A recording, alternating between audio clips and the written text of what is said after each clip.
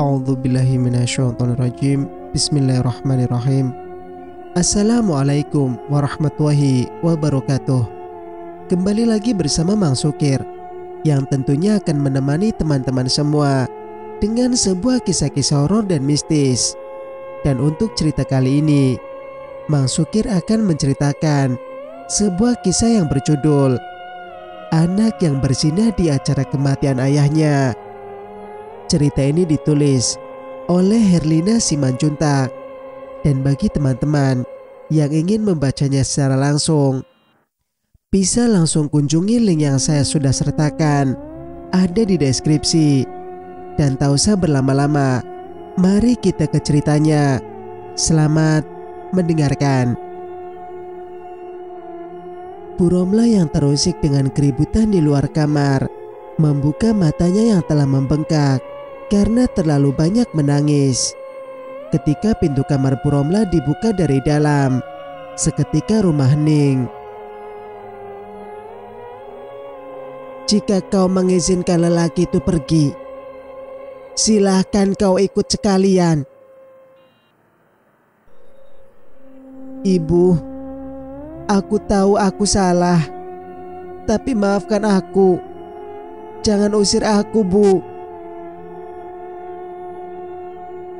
Bagaimanapun kau harus meninggalkan rumah ini. Cepatlah urus hukumanmu dan segera tinggalkan desa ini. Sandra terdiam. Seumur hidupnya baru kali ini dia mendengar ibunya berbicara dengan nada datar. Biasanya jika ia melakukan kesalahan, ibunya hanya akan marah-marah dan setelahnya membaik lagi. Kami saling mencintai, Bu. Cinta seperti apa yang kau jelaskan sekarang ini? Cinta yang berlandaskan nafsu belaka. Mas Sandi akan menikahiku, Bu. Sandra menyikut perut Sandi pertanda meminta bantuan. Benar, Bu. Kami akan menikah setelah masalahku selesai. Selesaikan dulu masalah yang kalian lakukan di sini. Masalah yang kalian lakukan di sini itu adalah kesalahan kalian berdua. Alif mendekati Bu Romlah dan menuntunnya untuk duduk karena ia tahu kondisi ibunya sedang hancur. Satu jam lagi kita akan berkumpul di balai desa. Bersiaplah untuk mempertanggungjawabkan kesalahan kalian. Setelah itu kalian berdua boleh meninggalkan rumah ini terserah akan ke mana. Alif kembali menegaskan keputusannya. Abang, kau tahu dek, seperti apa kerja kerasnya ibu dan ayah untuk membiayai kehidupanmu dan gaya hidupmu itu. Bahkan ayah lebih rela uang yang seharusnya menebus obatnya untuk kau pergunakan membeli makanan favoritmu karena kau tidak mau makan masakan ibu. Alif meneteskan air matanya mengingat perjuangan orang tuanya untuk Sandra. Bahkan terkadang mereka rela makan hanya dengan kerupuk demi Sandra dapat jajan dan nongkrong bersama teman-temannya. Tapi apa yang dia lakukan untuk membalas keluarga ini? Ia malah bersinah di dalam rumah yang sama, di mana mayat ayahnya sedang terbujur kaku, dan tetangga sedang memberikan doa. Setelah sedikit lebih tenang, Alif melanjutkan perkataannya. Entah setan apa yang telah menang membujukmu, hingga kau melakukan segala dosa ini. Tak sadarkah kau, Dek, ketika melakukan dosa ini, kau sedang di rumah yang sama dengan mayat ayahmu. Sedahsyat itukah nafsu setan yang kalian agungkan itu? Emosi Alif kembali setelah mengatakan itu. Maafkan kami. Kami mengaku kami salah. Kami hilaf. Sandi yang kini mengeluarkan suara karena Sandra telah menangis tergugu di sampingnya. Aku akan mengikuti perkataanmu, akan menyelesaikan masalah di sini, dan akan menikahi Sandra. Sandra yang mendengar itu sontak mengangkat kepalanya dan tersenyum senang. Binar cinta terlihat jelas di matanya ketika menatap Sandi. Baiklah, setelah masalah ini selesai, kalian akan menikah. Tapi ada apa lagi, Mas? Sandra yang tadi sudah tersenyum kembali gelisah melihat raut wajah Sandi. Saya tidak bisa menikahi Sandra secara resmi. Mengapa? Alif mengernyitkan keningnya. Karena saya sudah menikah. Apa? Jawaban Sandi sontak membuat Alif, Sandra dan Bromlah kaget. Apa maksudmu mas? Sudah menikah? Lalu aku ini apa mas? Aku memang sudah menikah Tapi aku mencintaimu Dan akan tetap menikahimu Aku tidak mau jadi istri kedua mas Rona bahagia yang sempat Chandra rasakan tadi Menguap entah ke mana Alif merangkul pundak ibunya, coba untuk menenangkannya. Coba untuk menenangkannya. Karena terlampau shock mendengar kenyataan tentang kekasih putri satu-satunya itu. Ingin rasanya Alif memukuli pria ini, tapi dia tahan. Khawatir ibunya akan pingsan kembali. Lalu kalau kau menikahi Sandra, apa istrimu akan setuju? aku akan menikah diam-diam. Nanti ketika sudah waktunya akan memberitahu kepadanya. Terserah kalian. Aku lepas tangan akan masalah kalian berdua. Abang, abang rela melihatku menjadi istri kedua. Bukankah kau tidak dapat lagi untuk memilih? Aku tidak mau. Suruh Mas Sandi menceraikan istrinya. Apa kau ingin menyakiti hati orang lagi? Itu sudah resikomu. Makanya jauhi zina. Inilah akibatnya. Buromlah berucap sambil menangis. Karena sebentar lagi waktunya untuk berkumpul di balai desa. Buromlah dan Alif segera mandi dan bersiap-siap untuk berangkat. Sedangkan Sandra masih menangis memukuli Sandi karena merasa telah dibohongi. Singkat cerita, semua orang di balai desa mengalihkan tatapannya ke arah pintu masuk. Karena di sanalah sang bintang dari perkara ini sedang berjalan memasuki ruangan. Kuncingan, hinaan bahkan cacan didapatkan oleh Sandra dan Sandi seolah tidak melihat kehadiran Buromlah yang baru kehilangan suaminya. Para warga terus berkunjing hingga Pak RT menghentikan mereka karena acara akan dimulai. Dengan pembahasan yang alot dikarenakan dua sejoli itu tidak ingin membayar cuci kampung. Mereka pikir hanya karena mengatakan mereka akan segera menikah. Lantas membuat hukum adat itu pun hilang. Itu sudah menjadi konsekuensi dari pelaku zina di masyarakat. Khususnya di kampung kami ini. Jadi setuju tidak setuju. Rela tidak rela. Hukuman harus kalian bayar. Pak RT yang sudah lelah akhirnya memutuskan. Tapi Pak RT, bila harus membeli tiga ekor sapi, saya tidak punya uang tolak sandi. Mendengar itu, sontak seluruh warga makin memanas. Seperti suara gerombolan lebah berkerumun memenuhi ruangan itu, salah seorang tetua desa meminta pendapatnya. Dan akhirnya mereka semua menemukan solusi jika tidak ingin membayar tiga ekor sapi. mereka hanya membayar dua ekor sapi dan mendapatkan hukuman tambahan berupa cambukan sebanyak 10 kali perorangannya.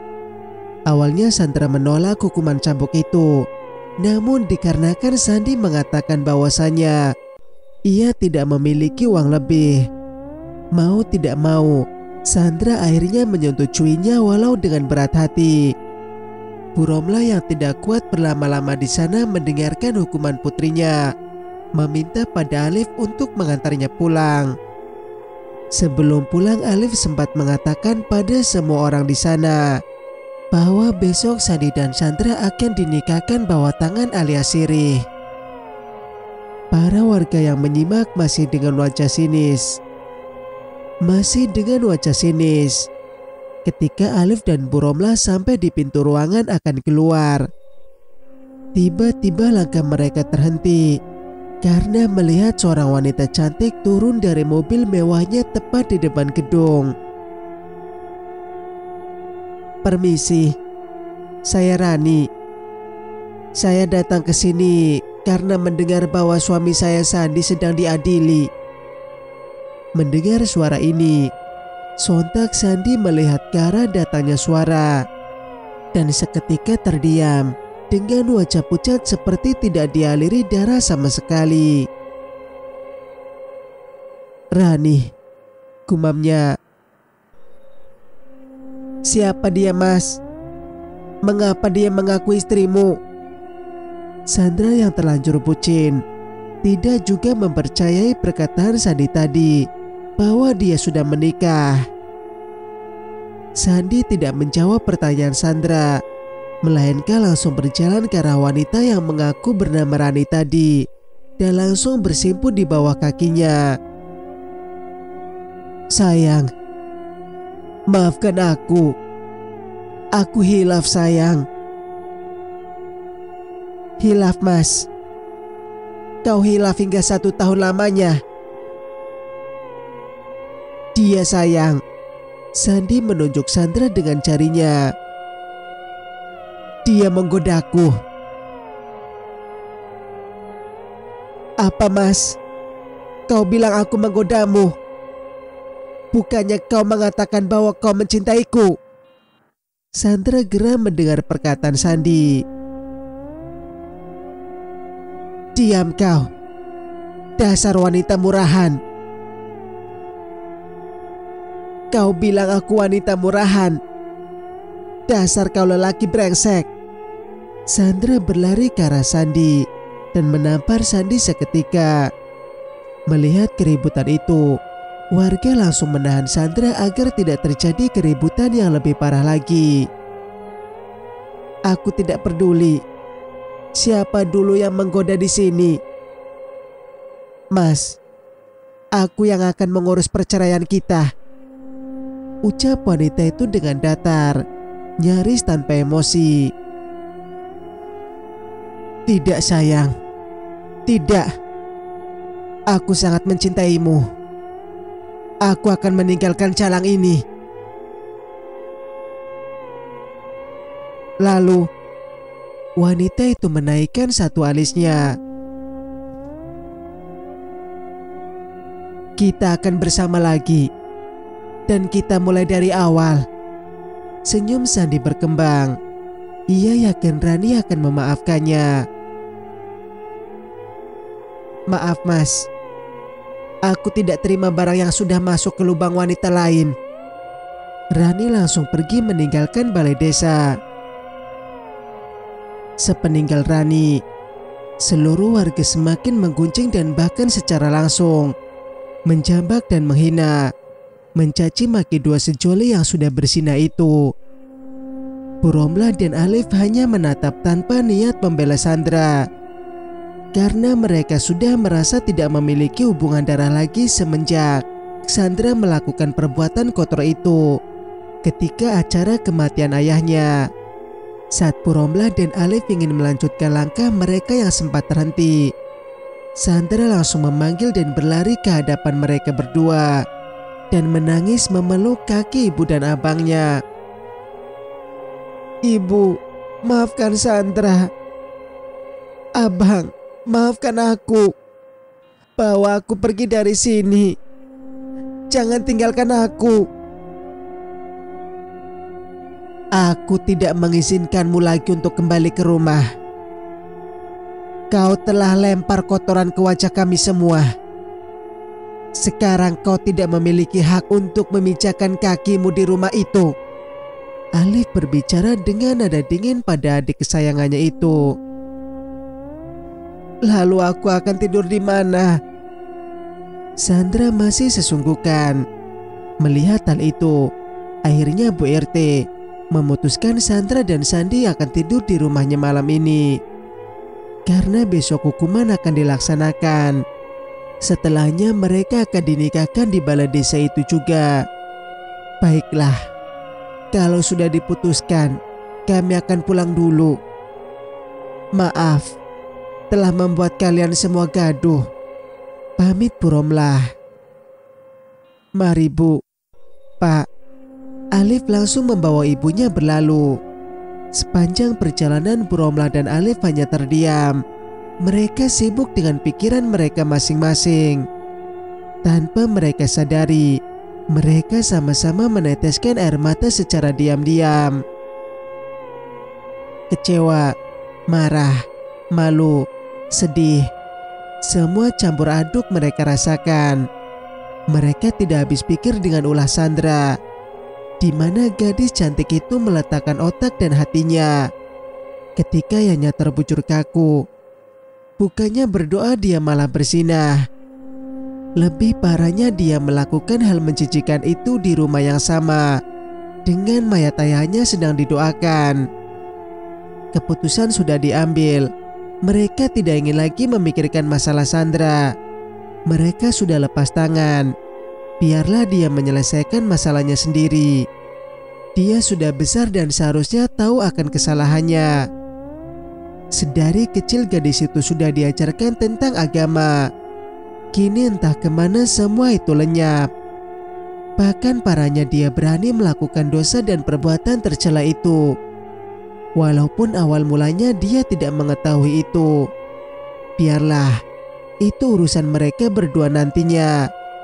Yang pasti saat ini Bromla dan Alif tidak mau ikut campur lagi. Mereka malu. Sandi dan Sandra yang tidak memiliki pilihan lain terpaksa setuju untuk tidur di rumah Pak RT malam ini. Di dalam kamar yang berbeda pastinya. Melihat kacaunya kondisi mereka berdua, membuat Berti terpaksa meminjamkan baju untuk mereka agar dapat membersihkan diri. Masalahnya setelah kepergian Rani yang mengaku sebagai istri dari Sandi tadi, mereka berdua kembali menjadi bahan bulian warga kampung. Sandra yang masih dengan mata sembab dan wajah sedikit lebam oleh pukulan warga membaringkan tubuhnya dengan pelan di tempat tidur setelah membersihkan tubuh. Jika ditanya menyesal, jelas saja ia menyesal. Wanita cantik berambut sepunggung itu tidak tahu bahwa kekasih yang sangat ia cintai, bahkan sangat ia sayangi, dan dia bahkan mau melakukan apa pun permintaan Sandi. Nyatanya sudah menikah. Seharusnya Sandra curiga melihat gerak-gerik Sandi yang bila diajak bertemu selalu beralasan sibuk. Sekalinya bertemu hanya untuk melakukan hubungan badan, termasuk pada hari naas itu. Awal mulanya Sandra menolak karena dia sedang berduka kehilangan sang ayah. Namun Sandi yang terus memaksa dan merayunya sambil menggerayangi tubuhnya membuat wanita itu tergoda. Dan inilah yang terjadi sekarang. Sandra, kau sudah tidur. Boleh aku masuk? Bu RT mengetuk pelan pintu kamar Sandra. Iya Bu RT, saya belum tidur. Sebentar. Sandra menghapus sisa air mata di pipinya dan membukakan pintu. Kau menangis lagi ya? Jangan menangis terus. Bu RT memberikan secangkir teh hangat. Aku menyesal Bu RT. Aku tidak tahu Mas Sandi sudah menikah. Air mata Sandra menetes kembali. Kau menyesal karena Sandi sudah menikah. Lantas apa kau tidak menyesal melakukan zina di saat kematian ayahmu kemarin? Sandra tak menjawab pertanyaan Bu RT. Dia hanya menangis tanpa suara. Bu RT mengelus punggung Sandra, menenangkannya. Sandra, hal yang kau lakukan ini salah nak. Tapi ibu tidak mau menghakimimu. Ibu rasa apa yang kau dapatkan sekarang adalah hukuman yang berat. Belum lagi besok kau dan Sandi akan mendapat hukuman cambuk. Sejenak Bu memperhatikan reaksi Sandra sebelum melanjutkan. Berdoalah, minta ampunan dari Tuhan, minta maaf pada mendiang ayahmu, dan minta maaf pada ibumu nak. Bertobatlah. Ibu mengatakan ini karena ibu sayang padamu. Ibu melihat kau sejak kecil sampai sebesar ini. Aku mencintai Mas Sandi. Iya, Aku mengakui apa yang kami lakukan salah. Tapi aku tidak bisa menolak permintaan Mas Sandi. Termasuk bersinah. Walaupun kau sedang dalam keadaan berduka. Iya. Bu RT mengerutkan dadanya untuk meredakan emosi. Kau tahu itu dilarang agama kan? Kau sudah besar, sudah seharusnya tahu mana baik, mana yang buruk. Tapi kami saling mencintai Bu RT. Apa itu salah? Mas Sandi sudah berjanji menikahiku. Cinta seperti apa? Ini kebodohan Sandra. Apa kau tak sadar juga? Sandi sudah menikah dan tadi kau sendiri ikut melihat istrinya kan? Bu RT mati-matian menahan emosinya. Tidak mungkin pula kan dia memukul kepala Sandra agar sadar. Mungkin Mas Sandi sudah bosan dengan istrinya, tapi istrinya tidak mau melepaskan Mas Sandi karena dia kaya dan tampan. Sandra masih berasumsi untuk membela kekasih bajingannya itu. Apa kau tidak melihat bagaimana takutnya Sandi melihat istrinya tadi? Apalagi ketika istrinya mengatakan akan menceraikannya. Tapi kata Mas Sandi dia mencintaiku. Aku tidak peduli apa pun lagi. Selagi dia masih sangat memuja tubuhku ini.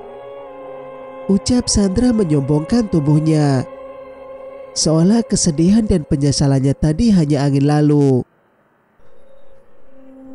Bu RT yang duduk menghadap Sandra dan Sandra yang duduk menyampingi Bu RT membuat wanita gembal itu melayangkan tangannya ingin menampol kepala Sandra agar sadar saking geramnya.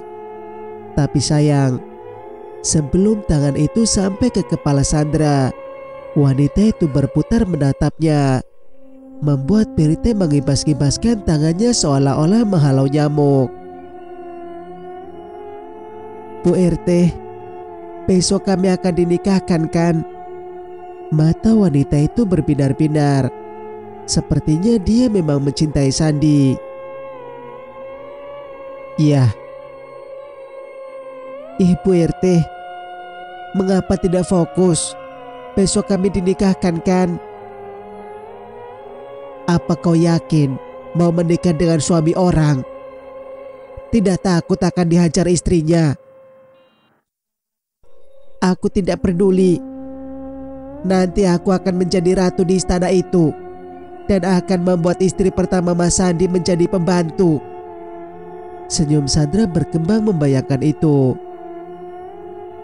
Bukannya tadi katamu kau menyesal, Sandra, Awalnya iya Bu RT. Awalnya. Sekarang. Sekarang tidak.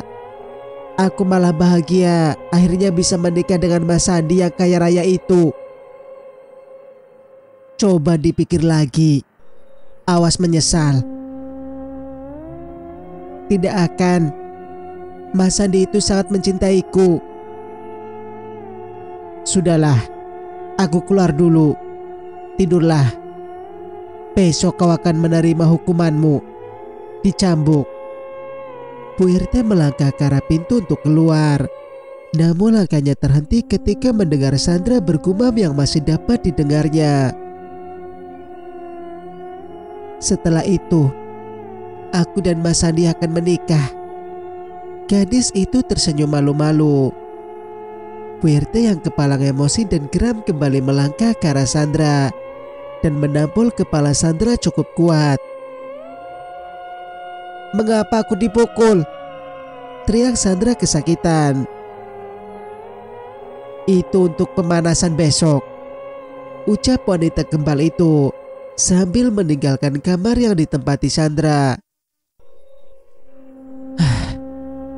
sial, sial. Kok bisa jadi begini sih? Sungguh di luar ekspektasi. Aku menjabak rambutku karena emosi. Awal mulanya aku mendekati Sandra, gadis yang saat ini terkena skandal denganku itu. Ketika tanpa sengaja dia menumpahkan es kopi ke bajuku ketika berjalan bersama temannya sambil menunduk. Karena rasa bersalah itu, Sandra meminta maaf dan meminta bajuku untuk dia bersihkan. Walaupun aku sudah menolaknya, namun entah mengapa melihat wajah cantiknya, Aku pun akhirnya memberikan bajuku yang terkena noda. Setelah berganti dengan baju baru di toilet sebelumnya, tak lupa Sandra meminta nomor teleponku untuk bisa mengembalikan baju itu ketika sudah bersih. Berawal dari situ akhirnya kami menjadi dekat. Aku tidak memberitahu dia bahwa aku sudah menikah. Toh dia tidak bertanya padaku, jadi aku tidak salah dong Lagian wajah tanpa menawan dan stylish keren seperti ini membuat orang tidak menyangka aku sudah menikah. Termasuk Sandra gadis cantik berusia 20 tahun ini. Ah, sungguh menggoda. Intensitas pertemuan kami meningkat. Aku sering memanjakannya, mengajaknya ke mall untuk belanja barang-barang keinginannya, memberikannya uang yang banyak. Kalau masalah itu, aku tidak merasa keberatan karena aku kerja sebagai CEO di perusahaan milik keluarga istriku, Rani. Aku dulu hanya anak desa yang pergi ke kota mencari pekerjaan dan bekerja di perusahaan milik keluarga Rani. Beruntungnya memiliki wajah yang tampan, membuat aku bisa menikahi Rani. Dan saking cintanya kepadaku, Wanita itu sampai membuat aku menjadi CEO di perusahaan ini. Keuntungan itulah yang kubuat untuk membahagiakan diriku. Dan salah satunya modal untuk gadis muda seperti Sandra ini. Kami melakukan hubungan suami istri untuk pertama kali saat kami pergi liburan ke Bali. Di malam itu, Sandra tampil sangat menggoda dan kami pun melakukan hal itu berulang-ulang malam itu dan membuat aku menyadari bahwa dia sudah tidak perawan. Namun tidak masalah, toh hanya untuk selingan. Selagi aku pandai mengatur waktu antara Rani dan Sandra. Sampai hari naas ini tiba, aku yang sangat membutuhkan penyaluran nafsu karena Rani katanya sedang datang bulan. Dan aku pun memaksa Sandra, tapi katanya Sandra tidak bisa keluar karena ayahnya baru saja meninggal. Dia menyuruhku untuk datang. Sesampainya di sana, aku yang tak tahan lagi menggodanya dan terjadilah hal ini. Sandi, kau sudah bangun. Ayo segera bersiap. Kita akan ke balai desa sekarang. Suara Pak RT membangunkanku. Ais, Mengusik saja. Kumamku dongkol. Aku langsung bergegas ke kamar mandi kamar ini untuk mencuci muka lalu keluar. Pak, lalu bagaimana soal sapi? Tanyaku setelah mendudukkan diri di kursi samping Pak RT. Sebenarnya aku tidak ingin membayarnya, namun bagaimana lagi sudah resiko. Oh iya, itu yang ingin saya sampaikan sebenarnya. Pak RT meletakkan kopi yang sudah ia sesap sedikit. Bagaimana kalau dibeli sekarang? Usulnya yang langsung kuangguki. Kami langsung pergi menuju penjual sapi dengan sepeda motor Pak RT. Di jalan Pak RT mengatakan setelah proses hukuman cambuk, aku akan langsung dinikahkan dengan Sandra. Sebenarnya aku takut kalau Rani akan bersungguh-sungguh menceraikan aku karena aku belum bisa mengeruk hartanya barang sedikit pun. Ini mas. Sapi-sapinya silakan dipilih. Pemilik kandang mempersilahkan. Tidak ada yang agak kecil pak. Aku kaget melihat ukuran sapi-sapi itu. Mengapa besar sekali? Apa mereka ingin memerasku? Ini sudah yang paling kecil mas Mau seukuran apa lagi? Eh, malah Pak RT yang nyolot. Ya sudah, aku beli dua dengan ukuran yang sama. Baik mas, saya persiapkan. Mau dibawa sendiri apa diantar? Ais, pertanyaan bodoh. Bagaimana cara mengangkat sapi di atas motor? Gumamku pelan yang sialnya didengar Pak RT. Bagaimana tadi mas? Tanyanya kepo. Tidak pak, antar ke balai desa saja ya pak. Ucapku mengarah pada pemilik sapi.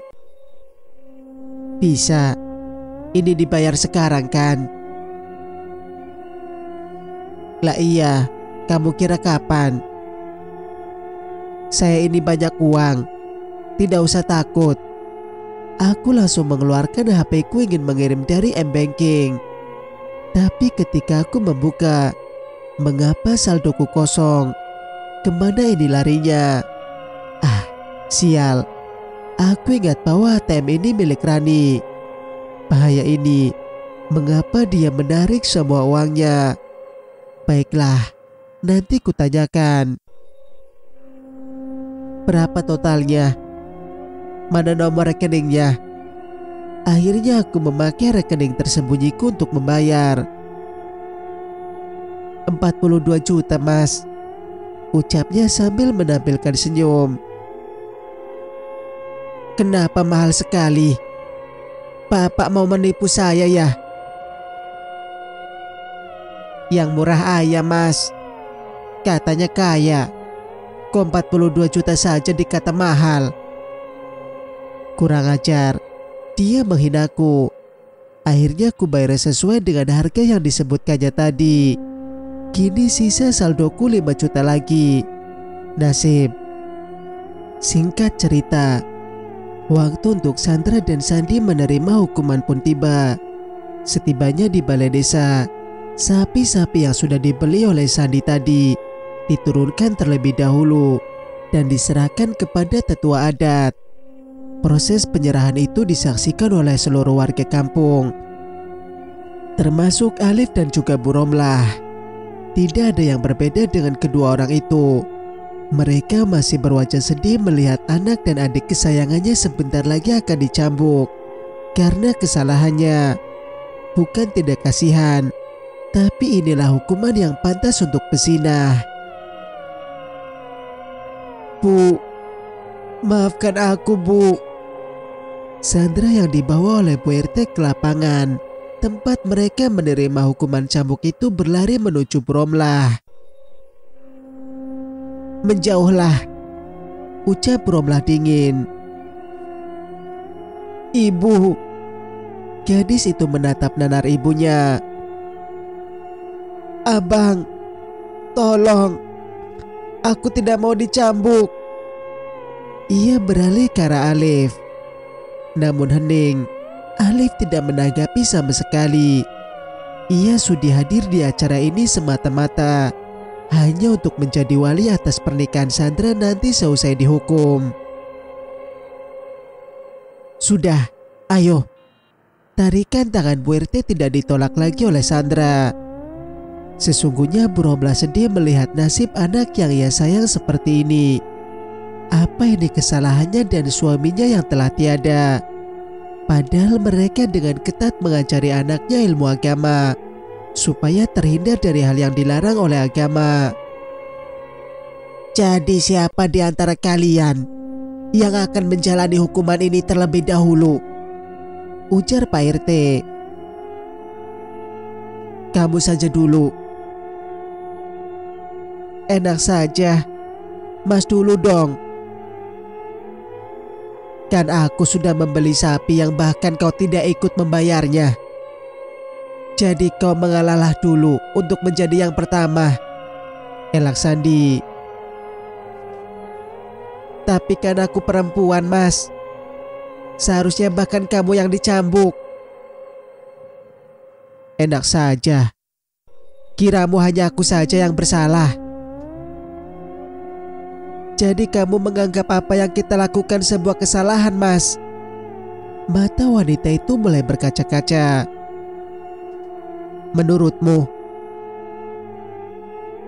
Bukannya kamu mencintaiku, Mas. Berarti itu bukan kesalahan. Bahkan air mata itu sudah mengalir di pipi halusnya. Warga yang melihat pertengkaran itu menunjukkan banyak reaksi. Ada yang menggeleng miris, ada yang menunjukkan wajah kagetnya karena tidak percaya mendengar perkataan Sandra bahwa perlakuan mereka bukan kesalahan. Puromla yang turut mendengar hal itu ingin sekali kembali menangis. Entah apa yang dipikirkan anak itu. Setelah melewati perdebatan panjang, akhirnya diputuskan bahwa Sandilah yang pertama menerima cambukan itu, lalu disusul oleh Sandra. Melihat anaknya dicambuk membuat Puromlah tidak dapat lagi menahan air matanya. Sama dengan Alif Tubuh dua si cole itu perih karena cambukan itu. Bahkan Sandra sampai sempat pingsan sebentar. Setelah beristirahat satu jam, dan Sandra maupun Sandi sudah bersih dan luka mereka telah diobati. Acara pernikahan mereka akhirnya dilakukan. Alif selaku wali bagi Sandra menikahkan adiknya itu dengan Sandi dan disaksikan oleh warga kampung dengan mas kawin berupa uang seratus ribu rupiah. Karena hanya itu yang tersisa di dompet Sandi saat ini.